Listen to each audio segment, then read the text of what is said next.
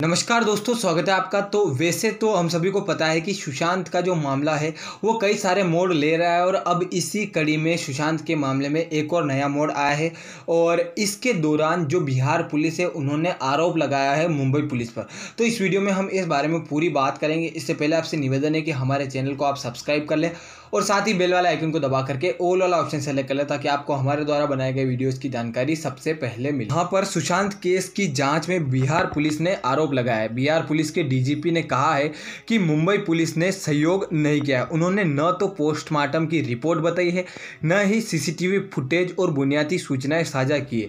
और ये सूचनाएँ अगर साझा की जाती तो सुशांत का जो मामला है, वो अभी तक सुलझ जाता या फिर सुलझने में काफ़ी ज़्यादा सहायता मिलती तो तो यहाँ पर मुंबई पुलिस की तरफ़ से एक बहुत बड़ा इरेस्पॉन्सिबल बिहेवियर देखने को हमें मिला। एक तो सुशांत सिंह राजपूत सुसाइड केस को लेकर बिहार और मुंबई पुलिस के बीच खींचतान थम नहीं रहे। डीजीपी गुप्तेश्वर पांडे ने कहा है कि मुंबई पुलिस इस मामले में सहयोग नहीं कर रही। है उन्होंने न तो पोस्टमार्टम रिपोर्ट हमें सौंपी है, जैसा कि हमने ऊपर आपको बताया, और न ही सीसीटीवी फुटेज और ये सूचनाएँ बेहद अहम है। डीजीपी ने कहा है कि सुशांत केस बड़ी मिस्ट्री हो गई, इससे पर्दा उठना चाहिए इस मामले की सच्चाई जल्द सामने आनी चाहिए।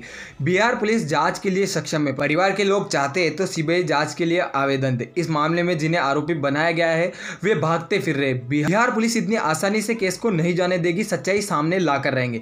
नीतीश ने भी कहा है कि पिता मांग करे तो सीबीआई जाँच की सिफारिश संभव हो सकती है, यानी कि यहाँ पर। सीबीआई जाँच में सुशांत सिंह राजपूत के पिता अहम भूमिका निभाने वाले हैं। इससे पहले शनिवार को मुख्यमंत्री नीतीश कुमार ने भी कहा था कि सुशांत सिंह के पिता के के सिंह अगर मांग करेंगे तो सीबीआई जाँच की सिफारिश संभव है। एफआईआर दर्ज होने के बाद बिहार पुलिस मुंबई जाकर जाँच कर रही है।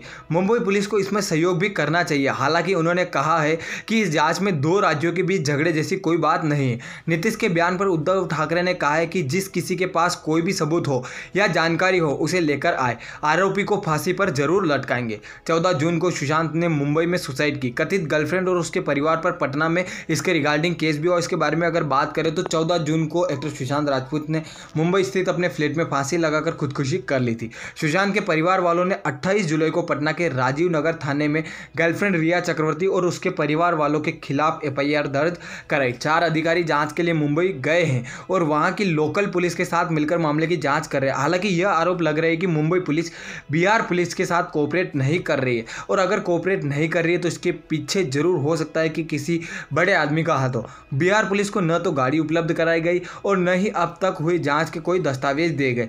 सुशांत की मौत के बाद से लगातार सीबीआई जाँच की मांग हो रही है और यहाँ तक कि अमित शाह ने इसके लिए जो निवेदन है वो आगे प्रोसीड कर दिया था, लेकिन उसके बाद महाराष्ट्र की जो सरकार है, उसने इस मामले में काफ़ी ढील दी गई इसी के साथ इस मामले में और भी कई सारे प्रश्न जो है उत्पन्न हो रहे हैं। वहीं कुछ और सुझाव भी निकल कर आ रही जैसे नीतीश कुमार ने कहा है कि अगर सुशांत के पिताजी चाहेंगे तो वो सीबीआई जाँच के लिए जो है आवेदन कर सकते हैं और उनके आवेदन को मान्यता ज़रूर दी जाएगी। उसी के साथ सुशांत केस में एक और ट्विस्ट आ रहा है कि भाजपा के एक विधायक, उन्होंने कहा है कि इस मामले में एक बड़े युवा मंत्री भी जुड़े हुए हैं और इसके रिगार्डिंग उन्होंने अमित शाह को पत्र भी भेजा है। सुशांत केस में मनी लॉन्ड्रिंग की भी बात सामने आ रही है और इसके रिगार्डिंग इस मामले में रिया चक्रवर्ती शक के दायरे में है। तो इस तरीके से सुशांत का मामला काफ़ी ज़्यादा कॉम्प्लिकेटेड होता जा रहा है। आशा करते हैं कि सुशांत को इस मामले में जस्टिस ज़रूर मिले। आपकी इस पर क्या राय है? कमेंट बॉक्स में ज़रूर बताएगा इसी के साथ आपसे विदा लेते हैं। जय हिंद जय भारत।